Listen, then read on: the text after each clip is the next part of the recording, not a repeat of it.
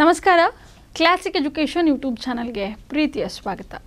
ಸ್ನೇಹಿತರೆ classic education ನಿಮಗೆ ಎಂದಿನಂತೆ ಉದ್ಯೋಗದ ಸುದ್ದಿ, ಪರೀಕ್ಷೆಗೆ ಪೂರಕವಾಗುವಂತಹ ಸುದ್ದಿ, ಜೊತೆಗೆ ಎಲ್ಲೆಲ್ಲಿ ಉದ್ಯೋಗಾವಕಾಶಗಳಿದೆ ಅನ್ನೋ ನಿಟ್ಟಿನಲ್ಲಿ ಸತತ ಸಂಪರ್ಕವನ್ನು ಈ ಕುರಿತಾಗಿ ಮಾಹಿತಿ ಹೇಳೋದ್ರಲ್ಲಿ ನಾವು ಸಾಧಿಸ್ತಾನೆ ಬರ್ತಾ ಇದ್ದೇವೆ. ಇದೀಗ ಇವತ್ತು ಕರ್ನಾಟಕ ವಿಧಾನಸಭೆಯಲ್ಲಿ ಶ್ರೀಯುತ ಸತೀಶ್ ಎಲ್ ಜಾರಕಿಹೊಳಿ ಅವರು. ಈಗ ಪೊಲೀಸ್ ಇಲಾಖೆಗೆ ಸಂಬಂಧಪಟ್ಟ ಹಾಗೆ ಎಷ್ಟು ಹುದ್ದೆಗಳು ಖಾಲಿ ಇದೆ ಮತ್ತು ಎಷ್ಟು ಹುದ್ದೆಗಳು ಭರ್ತಿ ಆಗಬೇಕು, ಆ ಕುರಿತಾಗಿ ಏನು ಕ್ರಮವನ್ನು ನೀವು ಕೈಗೊಂಡಿದ್ದೀರಿ ಅಂತ ಹೇಳಿ ವಿಧಾನಸಭೆಯಲ್ಲಿ ಪ್ರಶ್ನೆಯನ್ನು ಕೇಳಿದ್ದಾರೆ. ಮತ್ತು ಈ ಪ್ರಶ್ನೆಗೆ ಲಿಖಿತ ರೂಪದಲ್ಲಿ ಕರ್ನಾಟಕ ಗೃಹ ಸಚಿವಾಲಯ ಉತ್ತರವನ್ನು ಕೊಟ್ಟಿದೆ ಮತ್ತು ಉತ್ತರವನ್ನು ಹೇಳಿದಂಥ ಗೃಹ ಸಚಿವರು ಏನು ಹೇಳಿದ್ದಾರೆ ಅನ್ನೋ ಮಾಹಿತಿಯನ್ನು ನಿಮಗೆ ಹೇಳ್ತಾ ಇದ್ದೇನೆ. ಇದು ಬರೀ ಮಾಹಿತಿಯಲ್ಲ ಯಾರೆಲ್ಲ ಸ್ಪರ್ಧಾತ್ಮಕ ಪರೀಕ್ಷೆಗಳಿಗೆ ಓದುವಂಥ ಸ್ನೇಹಿತರಿದ್ದೀರಿ, ನಿಮಗೆ ಇದೊಂದು ಬಂಪರ್ ಸುದ್ದಿ. ಯಾಕಂದರೆ ಒಟ್ಟು ಆರು ಸಾವಿರದ ಮುನ್ನೂರ ನಲವತ್ತೆರಡು ಹುದ್ದೆಗಳು ಖಾಲಿ ಇದೆ. ಹಾಗಿದ್ರೆ ಯಾರೆಲ್ಲ ನಿರಂತರವಾಗಿ ಶ್ರಮ ವಹಿಸಿ ಓದ್ತಾ ಇದ್ದೀರಿ, ಅವರಿಗೆ ಇಲ್ಲೊಂದು ಪ್ಲೇಸು ಪಕ್ಕ ಅನ್ನುವಂಥದ್ದು. ಹಾಗಿದ್ರೆ ಯಾವೆಲ್ಲ ಇಲಾಖೆಯಲ್ಲಿ ಖಾಲಿ ಇದೆ? ಎಷ್ಟು ಹುದ್ದೆಗಳು ಖಾಲಿ ಇದೆ ಅನ್ನೋದು ಕುರಿತಾಗಿ ಮಾಹಿತಿ ಹೇಳ್ತೇನೆ. ಅದಕ್ಕೂ ಮುಂಚೆ ಏನು ಹೇಳಿದರು ಗೃಹ ಸಚಿವರು? ಈ ಪತ್ರದಲ್ಲಿ ಏನಿದೆ ಅನ್ನೋದನ್ನು ನೋಡೋಣ.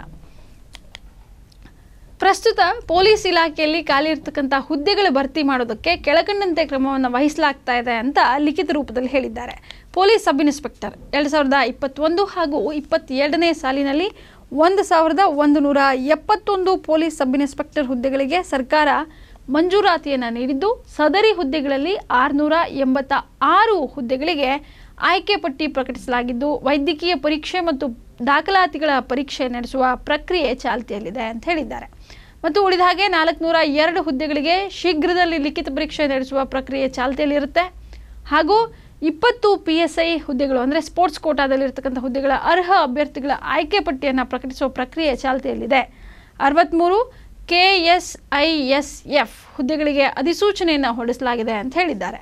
ಅಷ್ಟು ಮಾತ್ರ ಏನು ಪೊಲೀಸ್ ಕಾನ್ಸ್ಟೇಬಲ್ ಆಗಬೇಕು ಅನ್ನುವಂಥ ಸ್ನೇಹಿತರಿಗೋಸ್ಕರ ಮಾಹಿತಿ ನೋಡಿ, ಏನು ಅಂದರೆ, ಎಸ್, ಪೊಲೀಸ್ ಕಾನ್ಸ್ಟೇಬಲ್ ಆಗುವಂತಹ ಸ್ನೇಹಿತರಿಗಾಗಿ ಎರಡು ಸಾವಿರದ ಇಪ್ಪತ್ತೊಂದು ಮತ್ತು ಇಪ್ಪತ್ತೆರಡನೇ ಸಾಲಿನ ನಾಲ್ಕು ಸಾವಿರ ಪೊಲೀಸ್ ಕಾನ್ಸ್ಟೇಬಲ್ ಹುದ್ದೆಗಳಿಗೆ ಸರ್ಕಾರವು ಮಂಜೂರಾತಿಯನ್ನು ನೀಡಿದ್ದು ಸದರಿ ಹುದ್ದೆಗಳಲ್ಲಿ ಮೂರು ಸಾವಿರದ ಒಂಬೈನೂರ ಇಪ್ಪತ್ತು ಹುದ್ದೆಗಳಿಗೆ ಒಂದು ಅನುಪಾತ ಒಂದರ ಪ್ರಮಾಣದ ಆಯ್ಕೆ ಪಟ್ಟಿಯನ್ನು ತಯಾರಿಸಿ ಘಟಕಾಧಿಕಾರಿಗಳಿಗೆ ಕಳಿಸಿಕೊಡಲಾಗುತ್ತೆ ಅಂತ ಹೇಳಿದ್ದಾರೆ. ಹಾಗೆ ಉಳಿದಂಥ ಎಂಬತ್ತು ಹುದ್ದೆಗಳಿಗೆ ಅರ್ಹ ಅಭ್ಯರ್ಥಿಗಳ ಅರ್ಹತಾ ಪಟ್ಟಿ ತಯಾರಾಗಿದ್ದು, ತಾತ್ಕಾಲಿಕ ಆಯ್ಕೆ ಪಟ್ಟಿಯನ್ನು ಪ್ರಕಟಿಸುವ ಪ್ರಕ್ರಿಯೆ ಚಾಲ್ತಿಯಲ್ಲಿರುತ್ತೆ.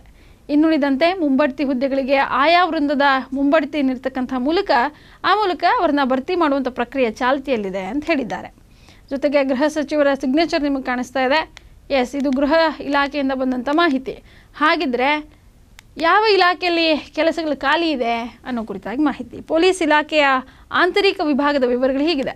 ಸಿಐಡಿ ಘಟಕ, ರಾಜ್ಯ ಗುಪ್ತವಾರ್ತೆ ಆಂತರಿಕ ಭದ್ರತಾ ವಿಭಾಗ, ಕಡಲ್ ಕಾವಲ್ ಪಡೆ ನಕ್ಸಲ್ ನಿಗ್ರಹ ದಳ, ನೇಮಕಾತಿ, ತರಬೇತಿ, ನಾಗರಿಕ ಹಕ್ಕು ಜಾರಿ ನಿರ್ದೇಶನಾಲಯ, ರಾಜ್ಯ ಅಪರಾಧ ದಾಖಲಾತಿ ವಿಭಾಗ, ಕರ್ನಾಟಕ ಲೋಕಾಯುಕ್ತ ಭ್ರಷ್ಟಾಚಾರ ನಿಗ್ರಹ ದಳ ಕೆಎಸ್ಆರ್ಪಿ ಎಫ್ ಬೆರಳು ಮುದ್ರೆ ಸಂಗ್ರಹಾಲಯ, ಪೊಲೀಸ್ ನಿಸತ್ತು ಘಟಕ, ನ್ಯಾಯ ವಿಜ್ಞಾನ ಪ್ರಯೋಗಾಲಯ, ಕರ್ನಾಟಕ ರಾಜ್ಯ railway police K A R P mounted company ಸೇರಿದ ಹಾಗೆ ಇಲ್ಲೆಲ್ಲ ಹುದ್ದೆಗಳು ಖಾಲಿ ಇದೆ. ಎಷ್ಟು ಹುದ್ದೆಗಳು ಖಾಲಿ ಇದೆ? ಹೌದು, ಇಷ್ಟೆಲ್ಲ ಡಿಪಾರ್ಟ್ಮೆಂಟಲ್ಲಿ ಖಾಲಿ ಇದೆ ಅಂತ ಹೇಳಿದ್ವಿ.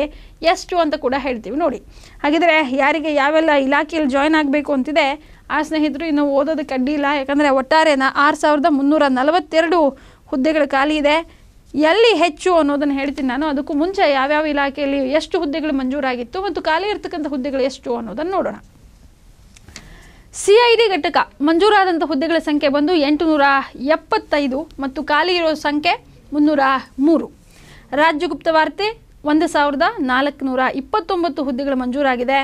ಖಾಲಿ ಇರುವುದು ಒಂದು ನಾಲ್ಕು ನೂರ ಇಪ್ಪತ್ತು. ಆಂತರಿಕ ಭದ್ರತಾ ವಿಭಾಗ ಆರುನೂರ ನಲವತ್ತೈದು ಮಂಜೂರಾದ ಹುದ್ದೆಗಳು ಖಾಲಿ ಇರುವುದು ಒಂದು ನೂರ ತೊಂಬತ್ತೈದು ಹುದ್ದೆಗಳು ಖಾಲಿ ಇದೆ. ಇನ್ನು ಕಡಲು ಕಾವಲು ಪಡೆ ಐದುನೂರ ನಲವತ್ತೆರಡು ಹುದ್ದೆಗಳು ಮಂಜೂರಾಗಿದೆ. ಎರಡುನೂರ ಅರವತ್ತೊಂಬತ್ತು ಹುದ್ದೆಗಳು ಖಾಲಿ ಇದೆ. ನಕ್ಸಲ್ ನಿಗ್ರಹ ದಳ ಆರುನೂರ ಅರವತ್ತೆಂಟು ಹುದ್ದೆಗಳು ಮಂಜೂರಾಗಿತ್ತು. ಎರಡುನೂರ ಹತ್ತು ಖಾಲಿ ಇರತಕ್ಕಂಥ ಹುದ್ದೆಗಳು. ಜೊತೆಗೆ ನೇಮಕಾತಿ ಇಪ್ಪತ್ತೊಂದು ಹುದ್ದೆಗಳು ಮಂಜೂರಾಗಿದೆ. ಐದು ಹುದ್ದೆಗಳು ಖಾಲಿ ಇದೆ. ತರಬೇತಿಯಲ್ಲಿ ಐದುನೂರ ಐವತ್ತೈದು ಹುದ್ದೆಗಳ ಮಂಜೂರಾದರೆ ಒಂದು ನೂರ ಒಂಬತ್ತು ಹುದ್ದೆಗಳು ಖಾಲಿ ಇದೆ. ಜೊತೆಗೆ ನಾಗರಿಕ ಹಕ್ಕು ಜಾರಿ ನಿರ್ದೇಶನಾಲಯ ಮುನ್ನೂರ ನಲವತ್ತ್ಮೂರು ಹುದ್ದೆಗಳು ಮಂಜೂರಾಗಿ ಎಂಬತ್ತೇಳು ಖಾಲಿ ಇದೆ. ರಾಜ್ಯ ಅಪರಾಧ ದಾಖಲಾತಿ ವಿಭಾಗ. ಇಲ್ಲಿ ಎಂಬತ್ನಾಲ್ಕು ಹುದ್ದೆಗಳು ಜಾರಿಯಾಗಿದೆ ಮತ್ತು ಖಾಲಿ ಇರೋದು ಹದಿನಾಲ್ಕು ಅನ್ನುವಂಥದ್ದು. ಇನ್ನು ಕರ್ನಾಟಕ ಲೋಕಾಯುಕ್ತ ಏಳ್ನೂರ ಮೂವತ್ತ್ನಾಲ್ಕು ಹುದ್ದೆಗಳು ಮಂಜೂರಾಗಿದೆ. ಎರಡುನೂರ ನಲವತ್ತೆರಡು ಖಾಲಿ ಇದೆ. ಭ್ರಷ್ಟಾಚಾರ ನಿಗ್ರಹ ದಳ ಐದುನೂರ ನಲವತ್ತೊಂದು ಹುದ್ದೆಗಳು ಮಂಜೂರಾಗಿ ನೂರ ಇಪ್ಪತ್ತೇಳು ಖಾಲಿ ಇದೆ. ಕೆ ಎಸ್ ಆರ್ ಪಿ ಹೆಚ್ಚು ಇರುವಂಥದ್ದು ನೋಡಿ ಕೆ ಎಸ್ ಆರ್ ಪಿಯಲ್ಲಿ ಹದಿಮೂರು ಸಾವಿರದ ಆರುನೂರ ಎಂಟು ಹುದ್ದೆಗಳು ಮಂಜೂರಾಗಿದೆ.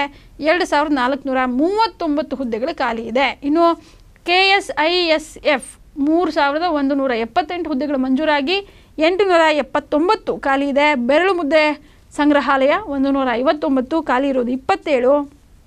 ಜೊತೆಗೆ ಪೊಲೀಸ್ ನಿಸತ್ತು ಘಟಕ ಒಂದು ಸಾವಿರದ ಐದುನೂರ ಅರವತ್ತೆರಡು ಖಾಲಿ ಇರೋದು ಮುನ್ನೂರ ಎಂಬತ್ತೆರಡು ನ್ಯಾಯ ವಿಜ್ಞಾನ ಪ್ರಯೋಗಾಲಯ ಏಳ್ನೂರ ಎಂಬತ್ತೈದು ಮಂಜೂರಾಗಿದ್ದರೆ ನಾಲ್ಕುನೂರ ಎಪ್ಪತ್ತೊಂದು ಹುದ್ದೆಗಳು ಖಾಲಿ ಇದೆ.